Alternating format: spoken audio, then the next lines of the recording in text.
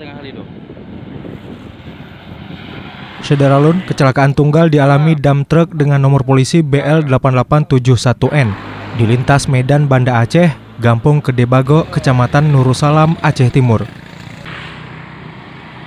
Kendaraan milik PT Kutaraja ini tengah dalam perjalanan mengangkut material aspal dari Losmawe untuk pengaspalan jalan Perlak Lokop.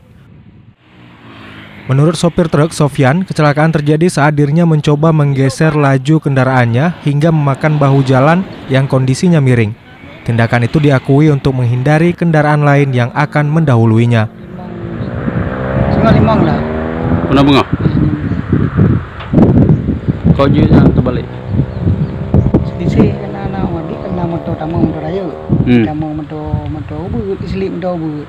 Biasa lung lah baju. Terpaksa nak gesek kan? Terpaksa ke Hmm. Di wate ka kena kan ham kili dah tarik, lung tarik tarik mai tim mai tim bedah lim tu.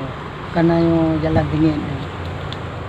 Tapi Peristiwa ini tak sampai menimbulkan korban, sementara muatan truk tumpah di lokasi kejadian dengan kerugian ditaksir mencapai 50 juta rupiah.